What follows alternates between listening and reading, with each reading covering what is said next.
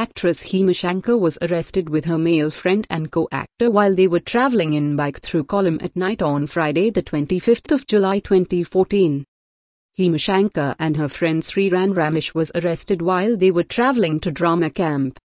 They were taken into custody while traveling near Chinnakkada in Kollam and were taken to police station.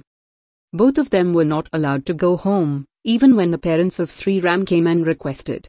The police behavior was so rude and used bad words towards them. They reported in media. Later in morning they were released without even charging a petty case.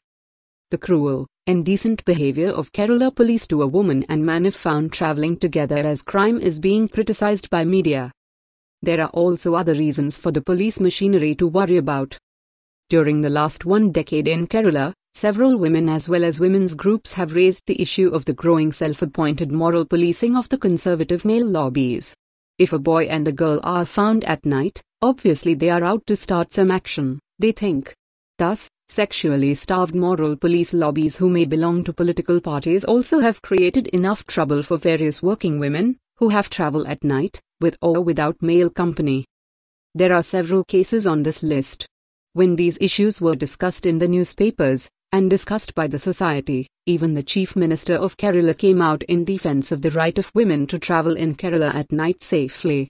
Naturally, the expectations of the society was on the police machinery to make such protective measures. However, it appears that the moral policing today is being undertaken by the police machinery itself. It's our responsibility to raise voice against this social issue. Share it and spread the word to world. Subscribe for more news.